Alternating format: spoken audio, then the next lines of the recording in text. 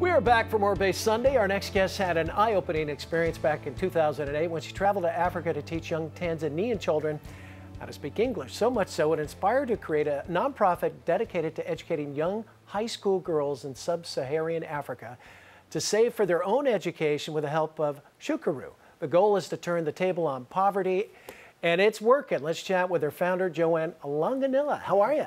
I'm well. How are you? Good to have you on board. Well, let's Thank talk you. about that uh, trip. You're, uh, you go to Africa in 2008. You're going to teach some English, and something happens. Something happened. Um, it was actually a really interesting story because my intention to go to Africa was to talk about and teach AIDS education.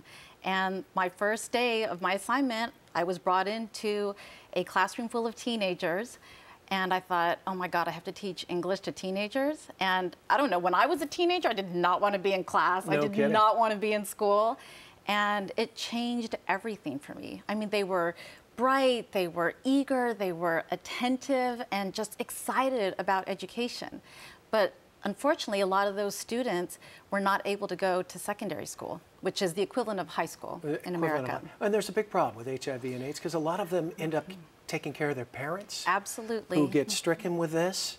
Um, and there's a delineation between the boys and the girls there, too. Talk about There that. are, yeah, a lot of girls, unfortunately, um, and I think with a lot of culture still, is that girls are not recognized for their abilities and their and their um, their worth ability.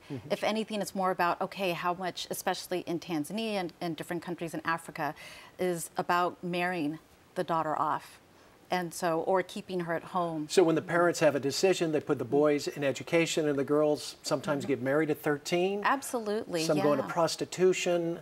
Um, some have very difficult lives. Right, right. And the boys are the ones that are always moving forward and the girls are left behind. But time and time again, it shows how much the girls are, they're the ones that are waking up early, they're the ones that are the last ones to go to sleep, the last ones to get medical care. But you educate a girl, everything changes from their family to their community through their country. And that's what you're doing now. Tell us, uh, tell us about Shukuru. What's it mean first? Shukuru means gratitude in Swahili, which is the local language in Tanzania. Very good. And I named it gratitude because my first experience there was about how everyone there is so appreciative, regardless of what they have. And it, it changed things for me. Well, we got a picture, and I, if this doesn't say gratitude, uh, not, not only for the girls, but look at you beaming there too. This is what it's all about, right? It is. It is. I mean, these are the girls that inspire me. Yeah.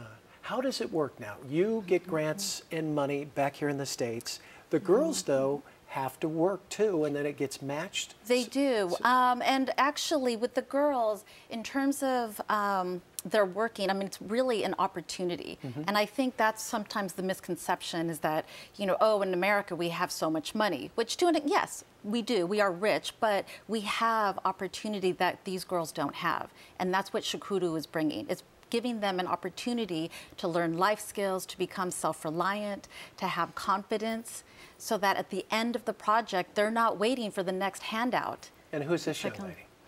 Ah, this is Messe. Um, she is 12 years old. And when I initially interviewed her for the project, she wasn't sure if she could raise the chickens, you know, because there's a lot of chickens that she has to raise. And after, you know, being in the project and learning the skill sets and how to properly take care of chickens, she's excited. I mean, she can't believe that she's raised 100 chickens on her own. You've been doing this since 08? Since, well, since uh, 2009. 2009. I founded the organization and we launched the project in 2012. And quickly, uh, just how these girls have grown. You've seen some of these girls go through high school now. They actually they're starting high school in January. Uh-huh. And that's our biggest success. We had 31 girls start the program and 31 girls are starting secondary school in January. That's awesome. Yeah. All right. Well, all the best. I know you go back here in February. You live there now, right? I do, I do. right. So that's why I'm back is Okay. to share the, you know, share the stories of the girls. So glad you did. Thank, Thank you, JoAnne. you. For more information about the work that Shukuru does, log on to shukuru.org. That's shukuru.org. That's it for this week's edition of Bay Sunday. We'll see you again next week. In the meantime, take care, everybody.